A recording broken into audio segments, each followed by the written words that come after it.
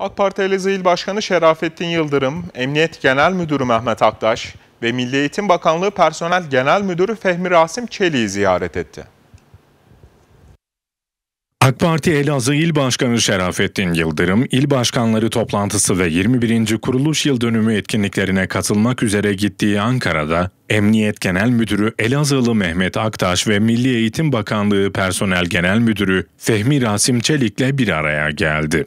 Ziyaretlerle ilgili değerlendirmelerde bulunan Başkan Yıldırım, Elazığ'ın sorunlarının çözüme kavuşturulması noktasında her zaman inisiyatif alan bir teşkilatız. Saha ziyaretlerimizde tespit ettiğimiz sorunları kısa sürede çözebilmek için bir ayağımız sürekli Ankara'da. Bu kapsamda hac vazifesinden dönen kıymetli dostum, Emniyet Genel Müdürü Sayın Mehmet Aktaş'ı ziyaret ettim. Elazığ'ın ihtiyacı olan konularda kendisi her fırsatta bizlere destek oluyor dedi.